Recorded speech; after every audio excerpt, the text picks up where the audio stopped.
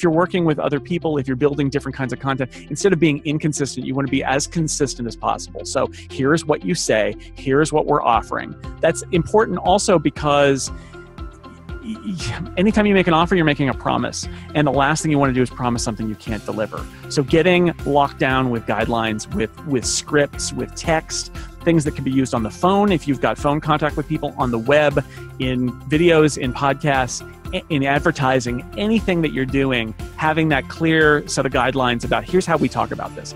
Is it a subscription or is it a membership? Is it for fans or is it for listeners? You know, what, what what do we say about what gets offered and exactly how do we describe it? Because the last thing you want is somebody to think that they got ripped off. What you want is people to feel very happy that they got exactly what they were hoping and more.